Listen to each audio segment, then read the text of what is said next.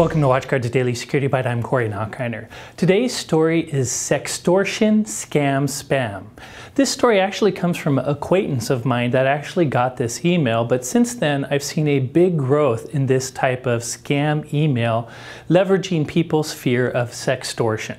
First of all, sextortion is a word for a type of hacking where a bad guy takes control of your webcam, tries to get you to do some things you'd rather not, and then uses that to extort you to do other things or maybe ask you for money.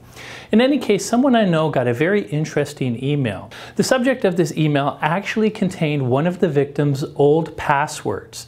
The email basically started by saying, you don't know me, but this is your password. Uh, and then it goes on to explain how the attacker allegedly got the password. Uh, the scammer claims they got the password from putting malware on a pornographic site, which they allege that you went to. Uh, they use that malware to take control of your computer and to monitor your webcam, and they claim that they actually have video of you doing things while you are at that particular pornographic website. Now, the good news about this entire thing is it is a scam. This attacker does not have malware on your computer. That's not to say your computer's clean for sure. Maybe you got malware some other way, but this attacker does not have control of your computer. Rather, these attackers are using one of the passwords stolen in one of the massive password database breaches like Yahoo or LinkedIn. It could be one of the clear text passwords that was found in the 1.4 billion password file on the dark web uh, earlier this year.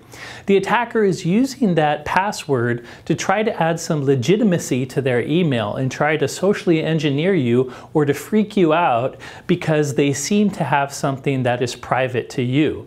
However, if you weren't aware that your password was stolen in a database breach, this is probably proof that you were one of the victims of these stolen passwords. Anyways, the rest of the email goes on to try to extort you, to try to scare you into paying money, anywhere from 1200 to 1900 uh, dollars in cryptocurrency to a particular Bitcoin wallet. But you don't have to worry about this. While the attacker does maybe have a password, uh, hopefully this is a password you changed from one of the password breaches. While they do have that password, they do not have malware on your computer. This is all a scam to try to scare you into giving them money. That said, if, if your password being out there is news to you, if you haven't changed that password and that's actually a real active password, you definitely need to go change your password on every single website that uses it. Anyways, besides one of my acquaintances getting this particular nasty email, there's some news of more and more victims getting this email as well. In fact, this particular acquaintance got the email at least twice, although they got slightly different variants of it. So it seems that scammers are spamming this out to many people. In fact, there's a great Reddit thread on this on the scam subchannel on Reddit, where apparently this started over a month ago and there's many different types of variants variant. So this seems to be something spammers are sharing with each other, a new technique. They all have slightly different language, but they're all doing the same thing.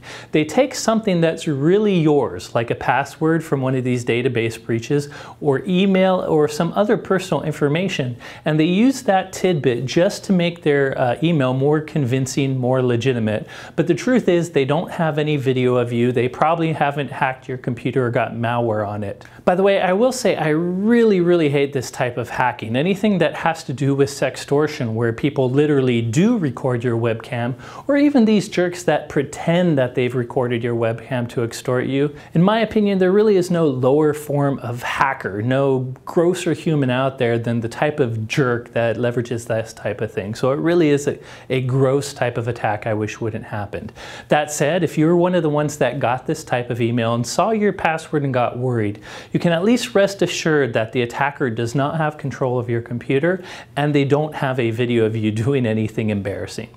Anyways, that's it for today's story. Thank you for watching.